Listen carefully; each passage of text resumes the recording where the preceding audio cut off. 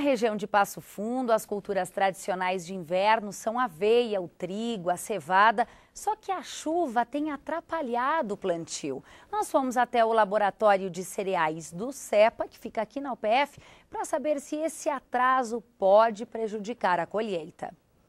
O excesso de chuva dos últimos 10 dias tem prejudicado e muito as culturas de inverno. Para você ter uma ideia, choveu em Passo Fundo e região 285 milímetros, 150 milímetros acima da média para o mês de junho. Por isso, viemos até o laboratório de cereais, aqui no CEPA, para conversar com o professor pesquisador da UPF, Luiz Carlos Gutkowski. Professor, quanto essa chuva pode ter prejudicado as culturas de inverno? É, nesse momento ainda é cedo uh, em termos de qualidade de grão, mas com certeza uh, o, o, produtor não conseguiu colocar toda a semente no solo que gostaria, ou seja, nós estamos com plantio uh, aquém do, do, da, do, do esperado para esse período. E nós já estamos e a lavoura que foi plantada ela já certamente deve estar com seus problemas de, de doenças de início de lavoura.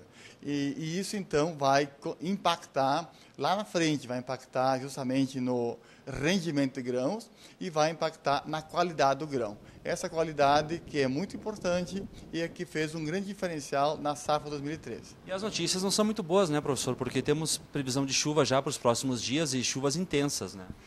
É, precisamos ficar atentos, é, o produtor precisa estar em alerta, aproveitar as janelas aí que tem para o plantio e também ficar é, bastante é, em contato com a lavoura para acompanhar as doenças. De fato, a, a previsão é de que a chuva continua. Então, isso é, é, é, exige alerta, exige vigilância e, principalmente, tomada de decisão em relação à, à lavoura de inverno. A expectativa é de que o, não se tenha aqueles desastres do, do passado, porque justamente por nós termos mais tecnologia, por nós termos uh, uma melhor semente e por nós termos um melhor aprendizado quanto ao manejo. Ok, muito obrigado, professor. Obrigado pela oportunidade. Ok. É isso então, a gente espera que as chuvas uh, deem um tempo nos próximos dias, né, Thaís? E que o produtor, como o professor disse, aproveite as janelas com tempo bom para começar logo o plantio. É isso. Volto contigo. Obrigada, Gia. Só que a notícia não é boa para os produtores. O sol da terça e da quarta-feira vai dar lugar à instabilidade. É a volta da chuva. Veja os detalhes, então, na previsão do tempo.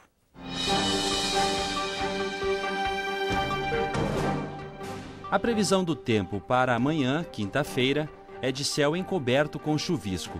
A mínima será de 14 graus e a máxima não passa de 15. Na sexta-feira, o tempo continua instável com chuva ao longo do dia. A mínima será de 17 graus e a máxima não passa de 24. A equipe de vôlei feminino BS Bills UPF participa neste final de semana da Copa RS Adulto em Santa Maria. O campeonato vai ter partidas em sistema de quadrangular, com todos os times jogando entre si. No sábado, às duas da tarde, a equipe BS Bills UPF enfrenta a Sojipa e às nove horas da noite, a AVF de Santa Maria. No domingo, o jogo é às dez horas da manhã contra o Grêmio Náutico União. A equipe com o maior número de vitórias será a campeã. Bom, e para quem gosta de pedalar, as inscrições para o segundo passeio ciclístico, promovido pelo Clube Comercial em parceria com o Instituto Clínica do Movimento, ainda estão abertas. O passeio vai ter um percurso de 8 quilômetros pelas ruas de Passo Fundo.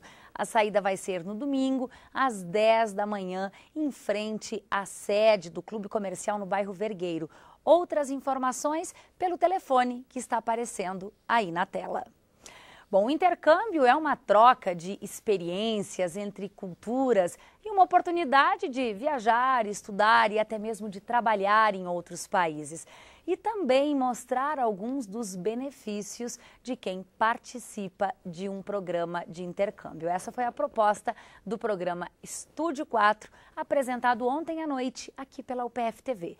Veja um trecho do programa que vai ser reapresentado hoje às 8 da noite poder ter essa vivência internacional, poder experimentar uh, novas metodologias de ensino, né? aprender sobre novas culturas, uh, como você disse, muitas vezes uh, aperfeiçoar um idioma que ele já sabe ou até mesmo aprender um novo idioma e trazer novos conhecimentos né, para o nosso meio acadêmico, melhorando não só a sua, a sua formação, mas também uh, amadurecendo, aperfeiçoando né, enquanto sujeito. E é uma das, das recomendações que nós damos aos nossos alunos para aproveitar essa oportunidade, além de ter esse ganho é, acadêmico de formação de cada um dos cursos que estão sendo realizados, de, se possível e se for o interesse, deixar alinhavado dentro de departamentos é, é realizado no momento como estágios, etc., de atividades, mas deixar alinhavado a possibilidade de retornar para seguir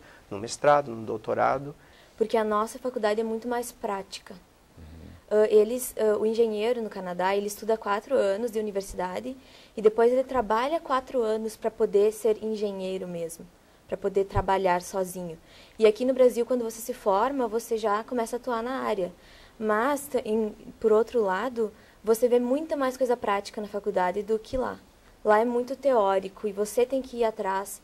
Lá jamais iria à casa de um professor a fazer um churrasco. Jamais. Ou seja, é impensável. Quando eu falava isso para os meus colegas lá na Espanha, ah, sim, estive fazendo um churrasco com um professor lá na casa dele. Eles me falavam, mas foram todos juntos a um restaurante? Não, não, era na casa dele. Uhum isso era bem diferente, né? a familiaridade, a hora poder sair da aula na meia da na metade da aula, porque ah, precisa de um cafezinho, vai, tranquilo, volta.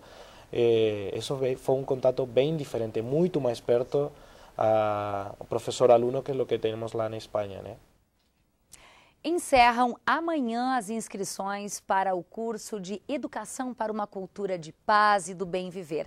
Essa é uma iniciativa do projeto Observatório da Juventude e de Violência nas Escolas, uma ação da Faculdade de Educação aqui da UPF. O curso vai oferecer jogos e oficinas para trabalhar a comunicação, a solidariedade, a autoestima e a cooperação. As atividades acontecem na próxima semana, do dia 7 ao dia 12.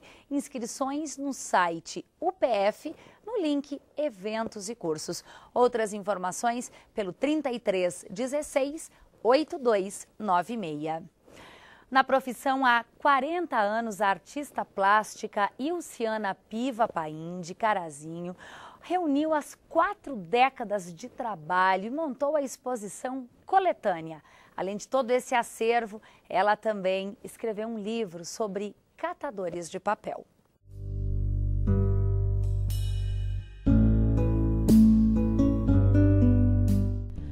Artista plástica Ilciana Piva Paim reuniu em seis telas momentos de seus 40 anos de trabalho.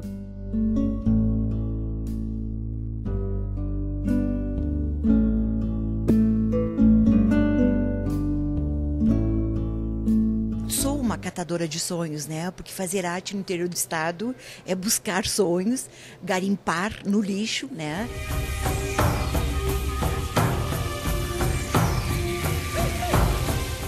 São quadros que falam de religião, do esplendor da natureza nas flores e no campo, o movimento constante e frenético das cidades, a paixão de homem e mulher, e nesta época de futebol, a Copa do Mundo.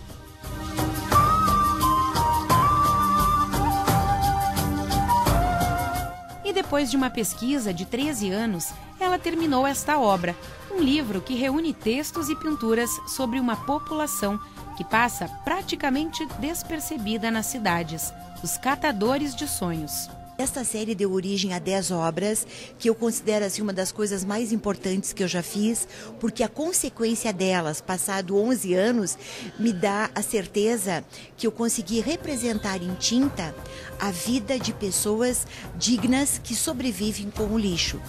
Ilse Paim andou pelas ruas em busca de catadores de papel para conhecer a história de vida destas pessoas. E isso tudo assim ó, é um exemplo que nós podemos fazer a diferença. Ecologia, educação pode vir do lixo. O livro Catadores de Sonhos, Arte e Percursos de Sensibilização Social é fruto de uma pesquisa científica iniciada em 2001. A obra conta um pouco sobre a rotina e a sobrevivência dos catadores mostra um pouquinho do homem, do homem que sai de uma manhã, de sete da manhã às sete da noite, que sobrevive com grandes percalços, fazendo de nosso lixo um referencial de, de ajuda, de sustento para grandes famílias.